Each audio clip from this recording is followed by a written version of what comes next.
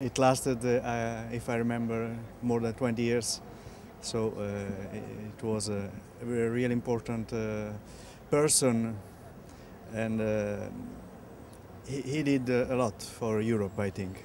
I think he uh, looked very nice. I think he was very human, and uh, all the interests he have uh, in uh, uh, politics uh, all over the world. I think he had a great influence on many things. So I'm very positive to him. As a pope, I thought he was kind, generous.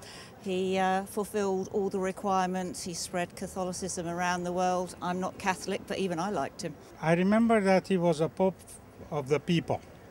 He used to go places, he used to talk to a lot of people, and he was very friendly.